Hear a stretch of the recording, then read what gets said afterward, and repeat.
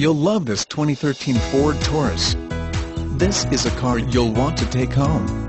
With 43,748 miles, it features automatic transmission and an exterior color of sterling gray metallic. Call us and be the first to open the car door today.